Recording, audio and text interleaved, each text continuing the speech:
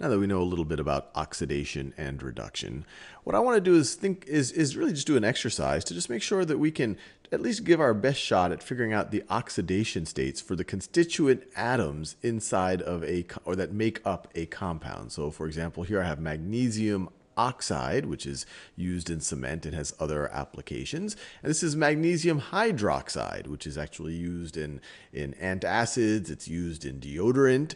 And what I want you to think about, and I encourage you to pause this video right now, is given these two molecules, these two compounds, and what we know about the periodic table, try to come up with the oxidation states for the different elements in each of these compounds.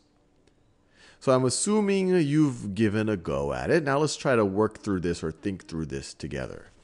So first of all, magnesium. Magnesium right over here, we see it's group 2. It's an alkaline earth metal. It has two valence electrons. It's not that electronegative.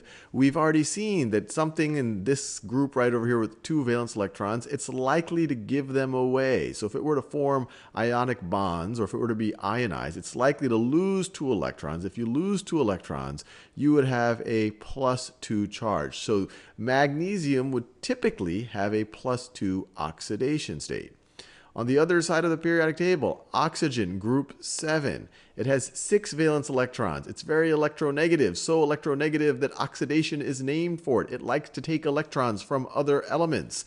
And oxygen in particular likes to take two electrons. So it's not unusual to see actually anything in this group, but especially oxygen taking two electrons from something else. If you take two electrons and you start it off neutrally, or you start in a neutral state, it's not unusual to see oxygen at a negative 2 oxidation state.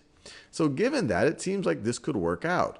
Magnesium could have a positive 2, positive 2 oxidation state. And actually, when you write it as a su superscript here, the convention is to write the positive after the 2.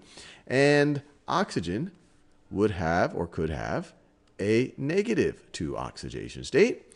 And this makes sense relative to the overall charge of the molecule. Positive 2 plus negative 2 is going to be 0, and that makes sense. This thing overall is a neutral molecule. And not only in this case is the oxidation state a hypothetical ionic charge, if these were to be ionic bonds, this actually is an ionic compound. Oxygen actually does take two electrons, and magnesium actually does give away two electrons. So in this case, the oxidation state is actually describing what is happening ionically. Now let's think about this one right over here, magnesium hydroxide.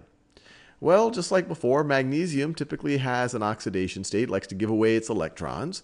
So it could have an oxidation state of positive 2, oxidation state of positive 2, which would imply that the entire hydroxide anion, and let's think about, or let's just say hydroxide for now, well, I'll say hydroxide anion, I kind of gave it away a little bit, that this hydroxide, that or this part of the molecule, the right-hand part of what I've written here, should for this whole thing to be neutral, it should have a negative 2 oxidation state. Now, how does that make sense? Well, we have two we have two hydroxides here. Notice the subscript right over here. So if each of those hydroxides has a negative 1, negative 1 charge or a negative 1, I guess you could say total oxidation state, then when you sum when you take the two of them together, they would net out against the magnesium. And that does seem to make sense. If oxygen has a negative 2 oxidation state, hydrogen has a positive 1 oxidation state, each each hydroxide part of this molecule is going to have a net oxidation state of negative 1, but then you have two of them, so the net oxidation for this part of the molecule or the compound is going to be negative 2, nets out with the positive 2 from magnesium. So once again, it makes sense.